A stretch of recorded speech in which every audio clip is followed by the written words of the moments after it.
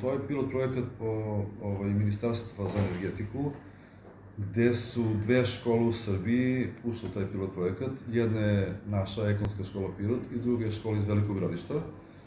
I projekat se sastoji da, da je dobijena donacija u vrednosti 21.000 dolara za izgradnju solarnih panela. E, javnu nabavku za izgradnju solarnih panela je spisala општина Пирот, пошто ми немамо службеник за набавку и тоа е малку за нас компликовано, така да и јавна набавка ишла преку нив. Јавна набавка е завршена, изводјач е одабран.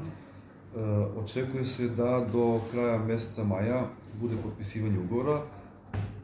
Чином подписување уговора, односно даном подписување уговора, креќе рок од 30 дана за изградување соларних панела. Тоа е електрана која ќе биде на, на овом блоку зграде школа према Кеју, вршина 60 метра квадратни.